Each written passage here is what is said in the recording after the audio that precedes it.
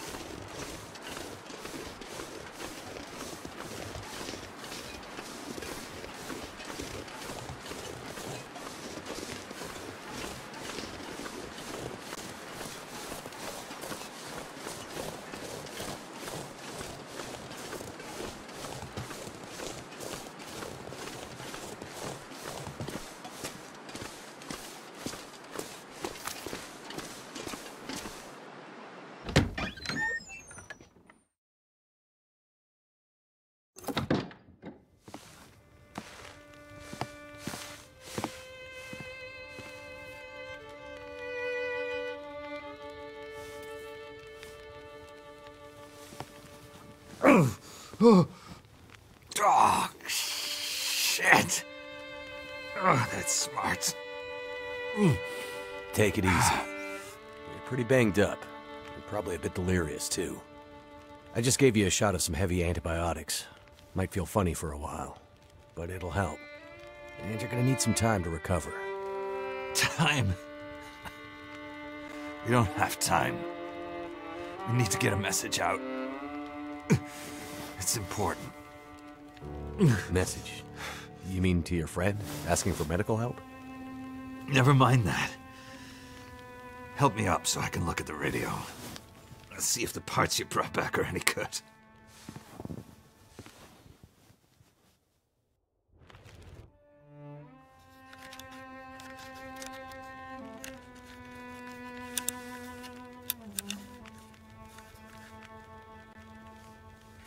That's a military shortwave, isn't it? Maybe. I know a bit about radios. That's not like any surplus I've ever seen. Ah, damn it! Well, the parts look fine. So, whatever's wrong with the radio goes deeper than that. What could it be? Ah, Something to do with the power. Fuses. Transformers, maybe. We have bigger problems to deal with first. That bear's out there, hunting us. He's a smart old bastard. He'll keep us from getting out, getting supplies, finding help. Eventually, he'll either get us or starve us out.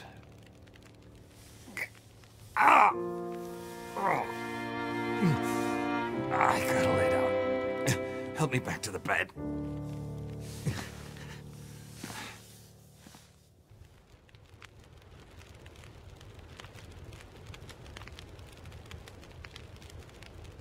The dam was pretty busted up, like you said. Place was cracked open by the quake years ago and never recovered. It was already half dead at the time. Meaning? The dam dates back to the 60s. Industrialists from the mainland wanted to use it to power a mining town he was planning to build. But the bottom fell out of the price of coal, and he had to abandon those plans. Some fool tried to get it running again in the 80s. But then the forest talkers got involved, and that was the end of it. Pretty sure the Quakes finished the job once and for all. So, who are the forest talkers? Eco-terrorists. Activists, some call them. Depends on who you talk to, I guess. Why are they out here? Well, they've been active for years. They come and go. Mostly here to throw a wrench in the works for a variety of resource projects, mining, forestry mainly. They want Great Bear to remain a pristine wilderness. You don't sound like you agree. Oh, I've no love for industry. But this is the way of the world. You have something they want. They take it. Nothing much you can do to stop it. Well, judging by what I saw in the dam, I'd say the forest talkers are still active. Well, that's good news for you. Keep your eyes open for supply caches they might have left behind. Can you tell me anything about where we are? Well, this whole area takes its name from Mystery Lake nearby.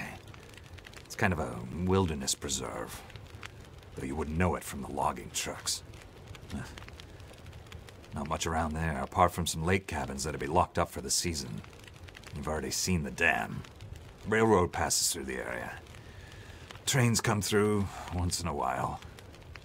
Fewer every year. Whole area's mostly dead. Most of the year. You sound like you like it that way. Sure do. So, no other people living out here? You gotta understand. The collapse destroyed Great Bear. There's nothing here to stay for. You meet anyone out here? Chances are they're hiding from something. Or someone. And you? Why are you here? I have my reasons.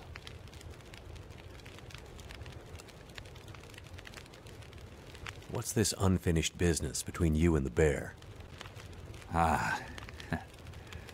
Me and the old bear. Every time we meet, we make a little trade.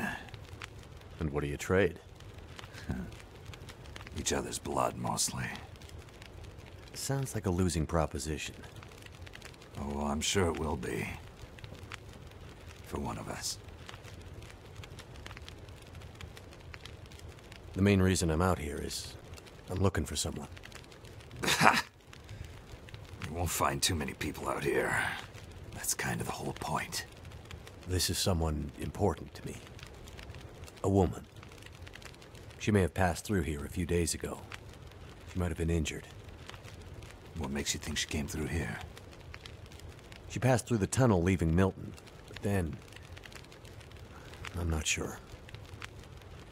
Well, the roads from Milton don't lead this way. Wherever she's headed, you'll have to cross the mountains to find her. Not an easy path, even for the most experienced outdoorsman. I'll do whatever it takes. You won't get far with that bear on the prowl. What we need is to get my radio up and running, so we can find out what the hell is going on. Maybe someone out there has seen your friend. The woman I'm looking for. She might be on her way to a place called Perseverance Mills. You know it? Yeah. Shit Nothing Town, north part of the island? Sounds about right. Yeah, I know it. We were on our way there, my passenger and I, when we crashed. I need to find a way to get there, or contact her. See if she's alright. You sure she's alive? Yeah. I'm sure. Oh, well. Normally, I'd make some calls on the old shortwave. Whole area's been damn quiet since those lights in the sky. Even the wildlife's acting strange. But I might have an idea. What do you mean the wildlife's acting strange? You live out here long enough, you get a sense for the patterns in nature. Right now, the patterns are broken. Critters aren't behaving the way they should. It's like they're spooked or something. No. Not spooked. But changed somehow. Best way I can say it is things don't feel right. You said you had an idea. What do you have in mind? Well, it's a long shot. But I may know how we can find out about your friend. I'm listening. This shortwave. I use it to keep an ear open for what's going on. So, how do we get the radio working? There's no reason I can see why it shouldn't be working. Well, what about more parts? Or another radio? We might find another radio. But I think I have a better idea. Problem is, it's no use with the old bear out there. Your path to a working radio, and our survival, is through that bear. We have to find a way to deal with him first.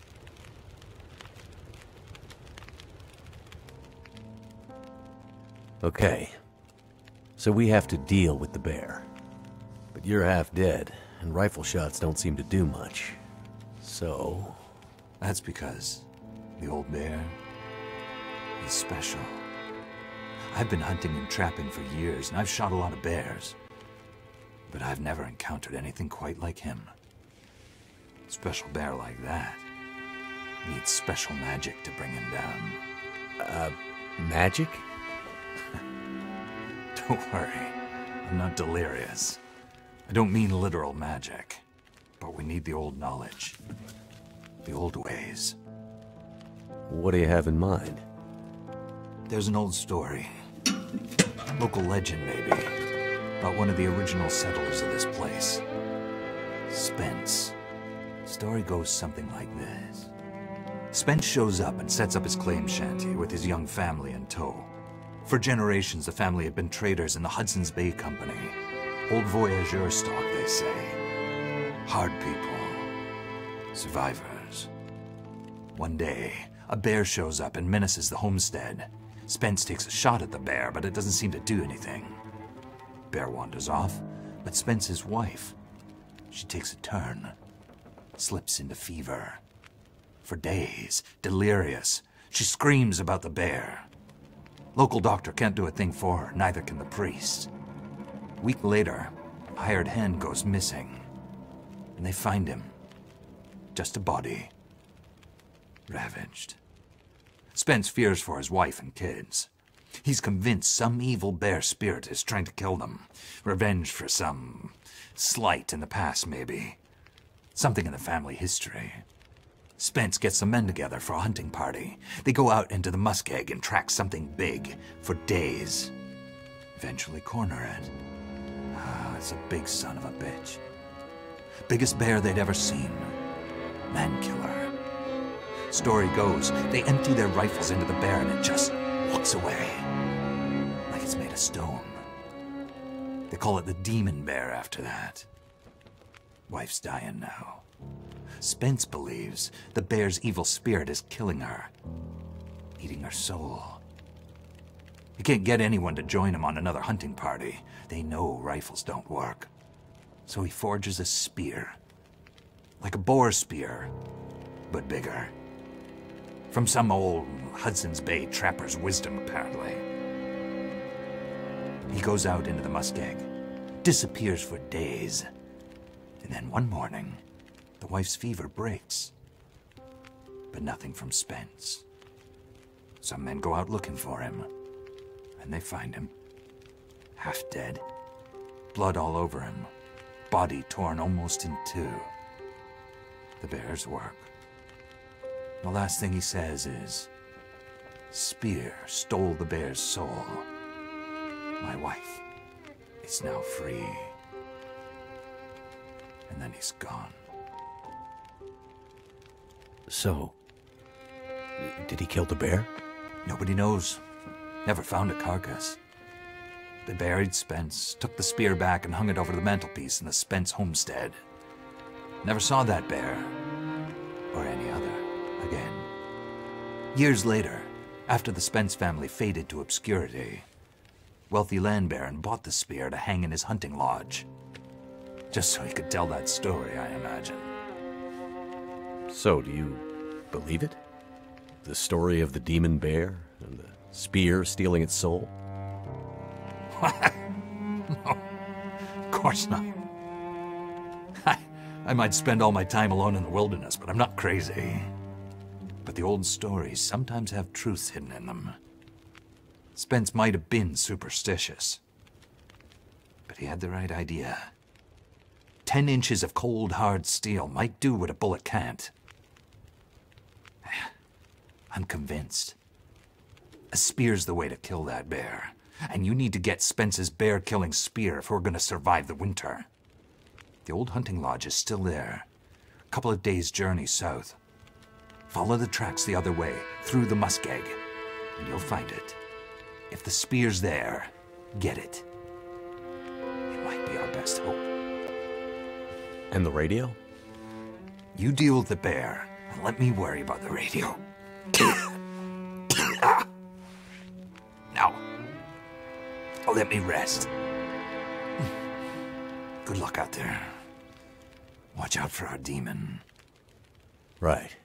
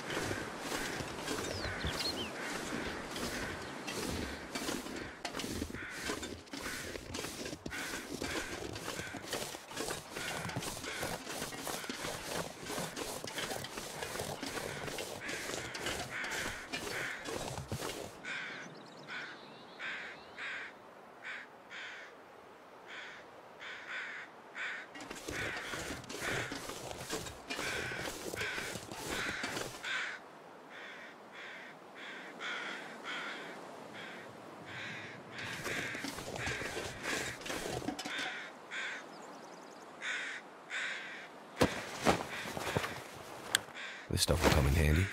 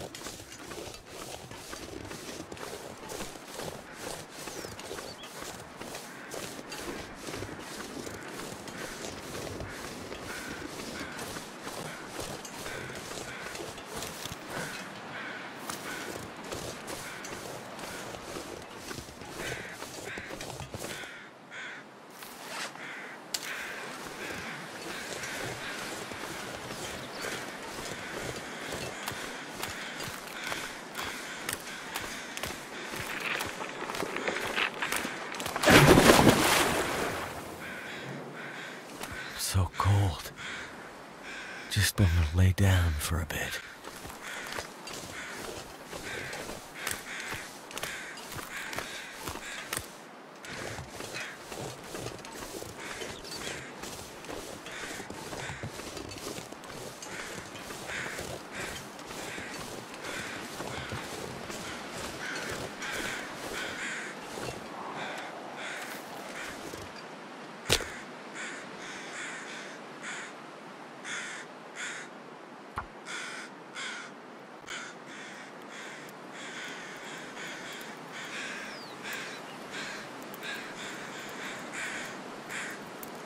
Come on.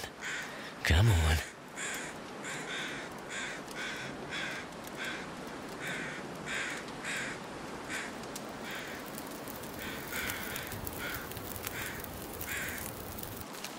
Well, thank goodness for that.